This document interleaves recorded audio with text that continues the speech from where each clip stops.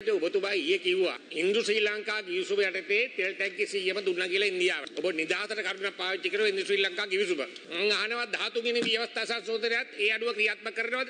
ගරු කතානායකතුමනි කිරියල්ල ඇමතුමාගේ වයස නිසා මං අනුකම්පා කරන එතුමාට හරියට ඇහිලා නැහැ. මම කිව්වේ දෙදා සමාවන්න. ආගන්න දැන්. 2003 පෙබරවාරි මාසයේ 7 වෙනිදා.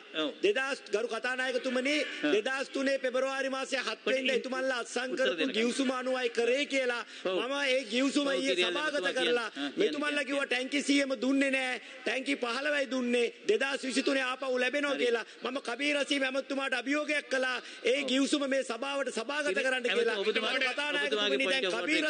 මෙතුමාට හැමදාම මගේ වයස පේනවා මං ජනාධිපතිතුමාට මේ මහින්ද රාජපක්ෂ මැතිතුමාට බාලයි. එතන පොයින්ට් එකක් නෑ මෙතන. බොහොම ස්තුතියි. බොහොම ස්තුතියි